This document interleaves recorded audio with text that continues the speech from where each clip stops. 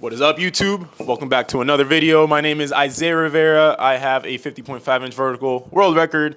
This is Austin Burke, and he has an alleged 47 inch We vertical. have no idea anymore. 47 inch vertical off one, and then an, another alleged 44 or 45 inch vertical off But two feet. I, I do have an official 46 off one. Official 46. Official. But I've seen him jump higher. That's, that's just like I just don't know anymore. Um, But, and yeah, we both- official 43.5 up to there we go. Those are the official numbers. alleged. Um, so yeah, we both jump pretty high, and today we are going to reveal the secret of jumping this high. But before we learn about the secret, I want to give a big shout out to our sponsors over at thpstrength.com. They are the premier vertical jump coaching on the planet. Pretty good. They've trained multiple elite athletes to get even better and even more average athlete to become elite. So if you're interested in jumping higher and getting rid of knee pain and really any injury that's out there, uh, they're pretty good at it. Go to thpstrength.com to sign up. You know, you know what we should do? What? We should give them a discount. How's a 10 per, You know what? 20% off to the first 10 athletes who sign up with the code podcast. Right now, go to thpstrength.com and the first yeah, 20%. That's Tw- I know. crazy. First 10 athletes who sign up using the code podcast will get 20% off their first month. So if you're weary, now's the time to try it. But do it fast because there's a lot of viewers. All right, cool. Code podcast. Let's Do it. Podcast. Remember, only the first 10 people. Only first 10. So act now. I hope they don't You kill know, us. pause this video, go to thpstrength.com and sign up now. Dude, I hope they, the sponsors don't drop us for this. This is crazy. Yeah, they might. They might. We might get fired. No, I hope not. All right. Well, without further ado, let's uh, officially introduce a topic, and it is going to be the truth about jumping higher. And the truth about jumping higher is that as you get better at it, as you start jumping higher and higher and higher and become more advanced, it becomes way easier to detrain. Absolutely. If you don't know what detraining means, it means that you basically lose the adaptations that you've gained. That the specific adaptations we're talking about in this case is vertical jump height. It's the entire reason we train, right? It's to jump higher. If you keep the same training load, let's say you have a 24 inch vertical, and then you train all the way up. Let's say you're doing three sets of five back squat, and you get all the way to where you have a 30 inch vertical doing that three sets of five. If you keep doing those three sets of five, you're not gonna always have a 30 inch vertical. Eventually, you're gonna get to a point where you reach that peak, and then you're gonna slowly decrease and decrease and decrease. So, the sad reality, the truth about jumping high is that the training needs to get harder just to even maintain your vertical. And then, if you wanna keep jumping higher and higher, you need to keep training harder and harder and harder. And what is the downside of that? Is it can become very mentally challenging, very mentally taxing to sustain that. So, having said all that, now that you know kind of the science behind why that happens, uh, I guess we'll start with you, Austin. What are some challenges that you've had in sustaining that level of, of performance? Um, obviously, we've all gone through ups and downs in training. Why, why do those happen for you? And I guess what are the obstacles that you face in, get, in getting there? I think understanding um, the detraining that you just explained. Uh, 2022 was my best year ever of dunking. Um I trained very hard leading up to it in 2021, and then 2022 I was jumping my highest. But I was so afraid to overtrain and jump bad, like you know every session, that I just maintained the full year. And then when I got injured, What now- do you mean by what do you mean by maintaining? Like, what exactly were you doing? I was jumping once a week. I was, you know, barely doing anything in the weight room. Maybe pushing 50, 60 percent on squats. Nothing too crazy. Slow, slow strength. Um, I, my weight room sessions were not hard at all, um, and that worked at maintaining throughout the full year. But when I injured my meniscus in December, I, when I finally came back, doing what I was doing to maintain didn't work, and it was extremely frustrating. I couldn't even jump relatively close to what I was jumping the year before.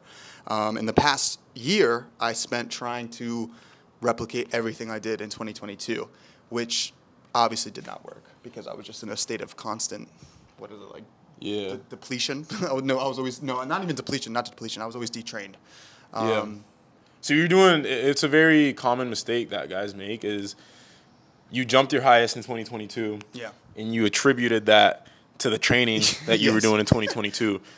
But effects of training are delayed. So when you're doing a training cycle, that training cycle isn't going to cause the vertical jump gains you see later that week or that month. The reason you see uh, adaptations and, and the results of training is from the training that you were doing two, three, six months before. And then you actualize those gains with later training cycles. So Austin was jumping his highest, attributing that to the training he was currently doing, which is a very common error.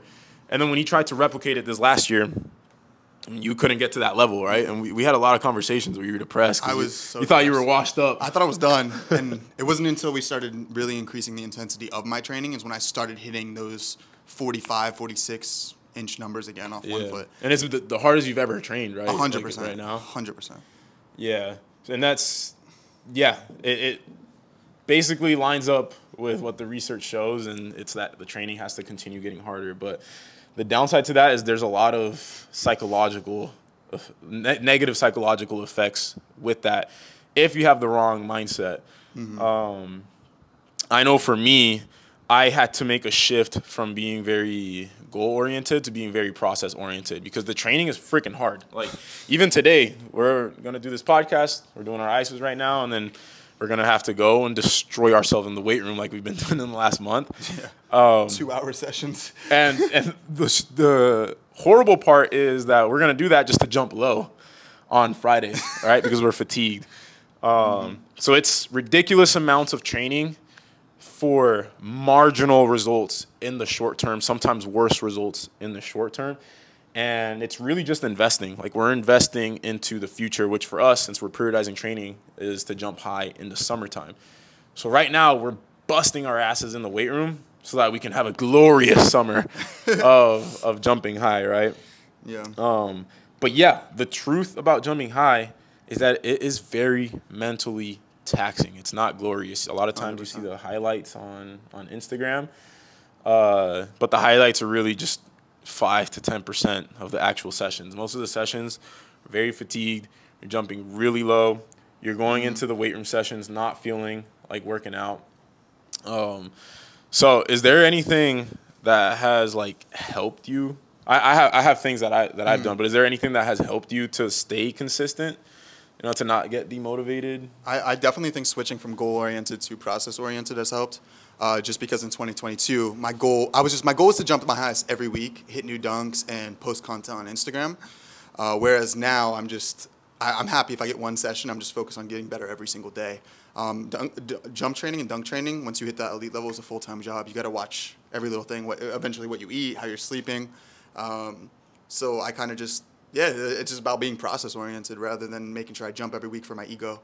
Yeah. Um, which is hard because So- you know everyone thinks I'm washed up every other week. but it's cool. Something that has helped me stay process oriented, because it's easier said than done, right? Like stay focused on the process and don't mm-hmm. care about the goals. A mental switch that allowed me to do that is I made the work the goal. So I didn't make the goal the goal. So right now, my my ultimate goal at the very moment is 51 inch vertical. It's always to jump higher. But that sets the path. And then what I do is I make a mental switch, a mental flip, and I make the work the goal. The work in our case is showing up and doing the workout that is written on my app, on my on my training app. And I'm happy if I just show up and do the workout, right? Mm-hmm. And hit the numbers that that are supposed to be hit. When it's dunk session day, I don't make the goal to, you know, hit a new dunk or hit a certain vertical. No, I just make dunking the goal, like the actual jumps. Make sure I'm jumping max effort. That's it. And that I don't overjump. Those are essentially my, my two goals. Go in there, jump as hard as I can. The result of it doesn't matter. It doesn't matter if I'm dunking, if I stick my elbow in the rim or not, whatever. I just make sure the goal is max effort and that I don't overjump and I'm not jumping through pain. As long as those three things get done, and as long as I made the goal the goal of showing up and training every day, eventually you will jump higher and reach that ulterior goal. But make the work the goal, and you will stay consistent. You will stay disciplined, um, especially if you do it consistently enough to where a habit is built. Um, that's one thing that has helped me a lot. Another one's meditation. Meditation has helped a ton. Which, by the way, Uh, for the guys that are currently on THP, and if you're not on THP, this might be an incentive for you to get on there. I actually have a mental training guide of everything I did, how I meditate, what books I read that allowed me to have a good mindset of being process oriented and how to build good habits, how to stay disciplined, how to deal with bad jumping days, how to deal with injuries, all those things. Um, I have an exact process for each of those things.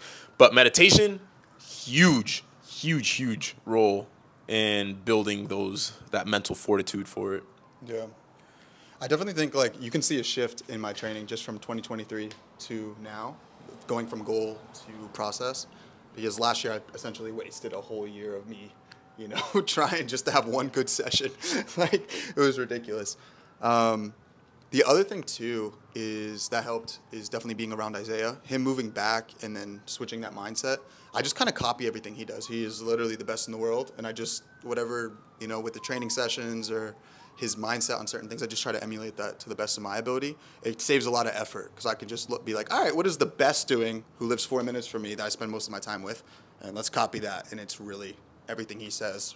Yeah. And that's huge. Like being part of a community is huge mm-hmm. because, like, one of us might get demotivated, but me or Austin or John, we're going to hold each other accountable to, mm-hmm. to showing up and, and getting the workout in. Um, and yet another THP plug is you get a community when you sign up for THP, and then you also get access to me, um, like literally direct access to me where you can talk to me about about this type of thing. Um, but yeah, communities freaking huge. 100%. Uh, because at the end of the day, like we're social creatures. Humans are social creatures, and Socrates. Uh, yeah, a lot of a lot of the motivation for anything is because of how you're perceived by people. 100%. You know what I mean? Like it is very ego driven to think that way, but people can lie as much as they want. Everybody's driven uh, by having affirmation from their peers, from family, from friends, and that type of thing. And if you surround yourself with people that are in that community, like it's gonna motivate you. It's gonna keep you motivated in training. So if you're not in the dunk community, I urge you to do it. You know, post on Instagram, DM people that are around the same skill level because that's the most motivating thing you can do, especially early on. Yeah. I always found I found CJ and Steven early on, uh, Nico, Nico, uh, Nico Christie, guys that were like yeah. around the same level as me. Um, got into a group chat. You know, we would send each other our training, what dunks I'm trying to hit. When I would low rim, I would send them send them my dunks. Um, I was really competitive too. Like I was always trying to like catch CJ um, in terms of what dunks we could hit. Uh, you have people to compare weight room numbers with. So putting yourself in a community is going to be huge as far as keeping yourself motivated, and it's just fun. It's a lot more forgiving now than it was when we started because was only it was so uh, clicky. I feel like in uh, 20, 2018. Yeah. Like we were, everyone was just like, if you weren't in the core group, it was hard to infiltrate. And then, but now it's everything's very open. Everyone and it's so much bigger too now mm-hmm. than it mm-hmm. used to be. Like I, I, I, used to know everybody in the dunk community. Like now, like I don't. I don't know most people, most dunkers out there. Um, I'll find like this just random freaks that can jump high, and I'm like, wow, how did I not know this person? Um, but I think that's a pretty good overview. I mean, uh, only other thing would be injuries. Ooh, like just new injuries popping up as we train more and more. Because we are just talking about this. That's another truth of the, the truth behind jumping high is injuries are going to pop up. Mm. That is a an inevit- inevitability of of jumping high. It's like I, I always like to give the example. It's like a high performance car, like a Formula One race car or a car that that you tune to go faster.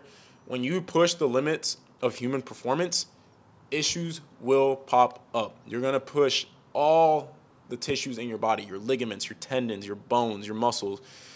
You're going to push them to their limits. And when you push anything to their limits, things will break, things will give. Um, so I think one is accept the fact that injuries are going to happen. One of John's mentors has this saying that I love injuries don't go away, they just move around, right?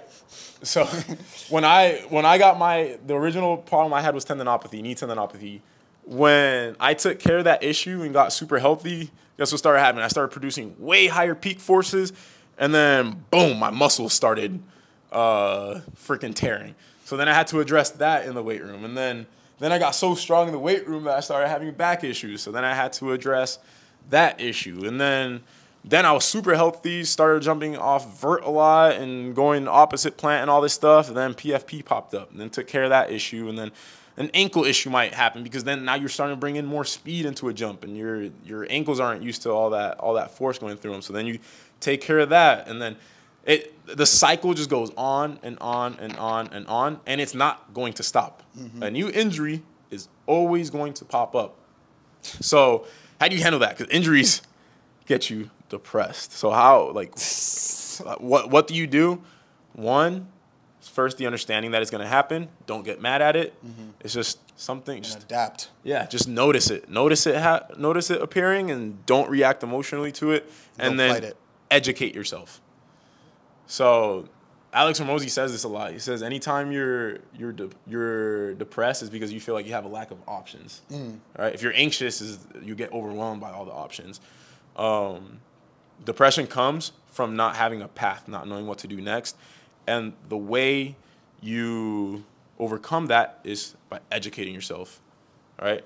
So educate yourself about the injury from a reputable source. Cough, cough, THP. By the way, we know we know about every jump related. Twenty percent off first month podcast code podcast.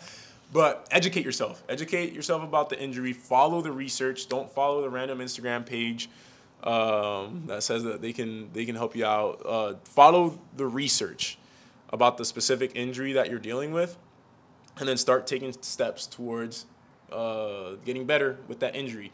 And what's really cool, like with mental health, is if you're making progress, doesn't matter how messed up you are, like you're gonna be feeling good. Yeah. Like take an ACL tear. Let's say you, you were to go through an ACL tear. You know, it's gonna be really depressing initially, but as soon as you start going through the rehab process and you see results, it's like your baseline happiness will already be increased compared to like if you're completely healthy and you have a bad session, you're depressed. That depression from that is gonna be a lower level of sadness than when you're in the middle of rehab and you see progress. Yeah, like you're gonna yeah, be yeah. happier because it's just it's all relative. Like it's all relative to what you like your previous day was at. Um, so just understand there's gonna be fluctuations in your emotions and stuff like that, and then just inform yourself and always be making steps towards recovering in the injury. Um, and always ask yourself, is what I'm doing today going to make me feel better or worse tomorrow in terms of pain? That's good. Answer that question correctly, and you'll be. You'll I think, a, I think a good thing too is getting rid of the timeline. Whatever, unless you have an event, get rid of that internal preach. Yeah, timeline. Like you don't need to be healthy by June 1st for absolutely no reason. You don't want to give yourself three months for a knee injury. Just that season that you're in the middle in in high school. Guess what? You're gonna be in five years. You're not gonna care. Yeah, literally. Just do it. Just do the pro- uh, go through the process, and you, it'll be a lot quicker than if you keep evading it. Yeah. So. If you have an injury and you have a tournament in two weekends, just skip the tournament. It's mm-hmm. not gonna matter. I remember there was games where I was thought I felt like I had to be ready for in high school. Jordan flu game type of thing. Yeah, well, like I had like knee pain, and I was like, I gotta play in this game. Doesn't freaking matter. It's I'm not, like right now I'm trying to have test my vertical and all that stuff, and it, it's like funny how important I used to think certain or like dunk events, certain dunk mm-hmm. events, how important I thought they were, and I could have just skipped them, ended up healthier, made more progress a lot more quickly. So, hundred percent, get rid of the timeline. Doesn't matter. I don't care how important you think whatever you have is about to be. It's not important in the grand scheme of it all. So that is actually amazing advice from from Austin. Just get rid of those timelines. Is that John? John's here. Wow. All right. It's a good idea doing the podcast. Yeah, I think that was good. All right, cool. Uh, that's pretty much it, everybody. What is that? The sponsors are back. What are they saying? They're saying sign up at thpstrength.com and for 20% off your first month, use the code podcast. is only for 10 people, so if you made it this far, there's a chance there's still spots. Yeah, but not for long. Nope. And then uh, if you are on YouTube, like the video, and if you're on a podcast platform, please give us five stars. It'll push it out to more people, um, and it'll incentivize us to keep making this. Because when we when we get views on these, it's very motivating to keep yeah, keep doing it. So, um, and then like always, leave a comment. We'll get back to it uh, as soon as we can, and I'll catch you guys in the next podcast episode. Yep. Peace out.